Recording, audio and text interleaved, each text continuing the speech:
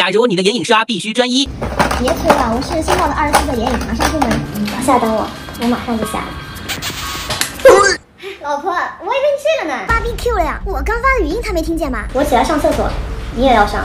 早感觉你不对劲，今晚果然让我逮着了。对啊，闹肚子，我也得多一会儿。老婆，你快回屋睡吧啊！他没听见，太好了。哦，那你刚刚说谁在楼下等你？没听见，以为我聋吗？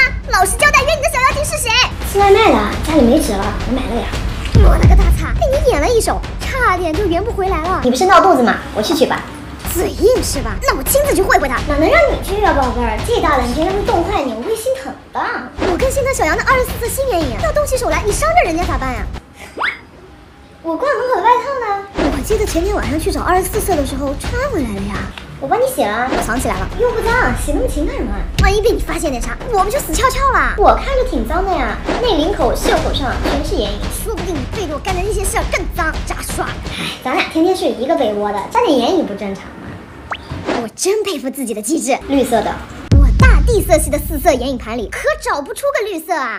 我我只是犯了全天下眼影刷都会犯的错误。别管我，继续说。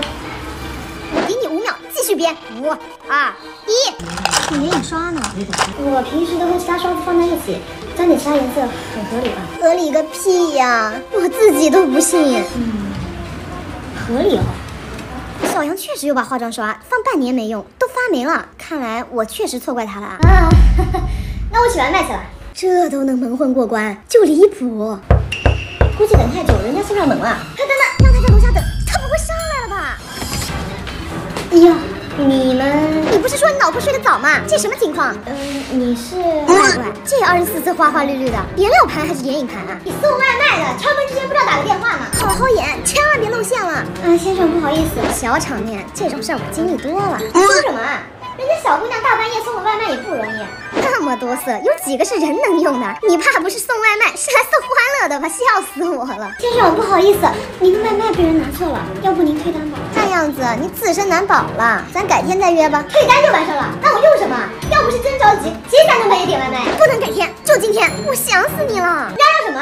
楼下就是便利店，不会自己走两步去买啊？小姑娘没事的啊，你走吧。你再不走，我就要笑出声了。二十四色有一半都是绿色，你是要把人画成苍蝇吗？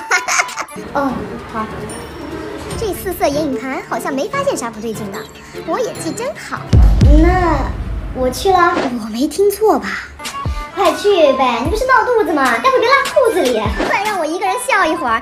怎么有这么丑的眼影盘呀？还好小杨品味好。